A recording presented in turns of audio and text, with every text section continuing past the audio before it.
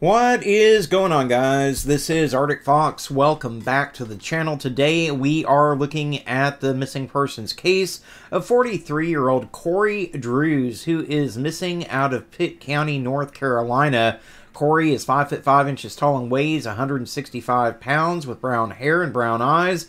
The Pitt County Sheriff's Office is asking for the public's help in locating the missing man. Corey was last seen on the 30th of May 2024 in the Farmville area of Pitt County, North Carolina.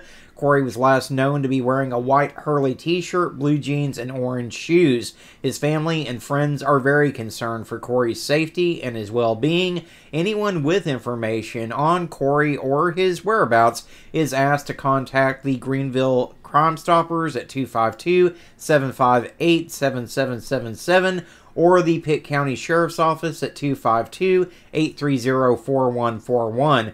Guys, this man's been missing since the 30th of May. It is the 4th of June as I'm recording this video. And unfortunately, Corey's case really isn't getting a lot of coverage right now, so we do need to get his face out there on social media. Do me a big favor, give the video a like. It does help more people to see Corey's face, and the more people that see him, the better the chances are that we can find him and we can bring him home safe. Also, if you're not subscribed to the channel yet, consider clicking that subscribe button. It really does help the channel out, and if you ring that notification bell, you'll always be alerted whenever I post another missing persons video.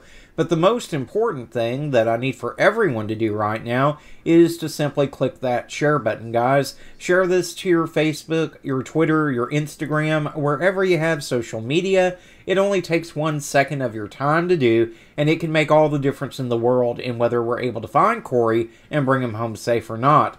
As always, guys, I do want to thank you so much for tuning in and watching. I appreciate each and every single one of you. Y'all be kind to one another out there, and let's bring Corey home safe.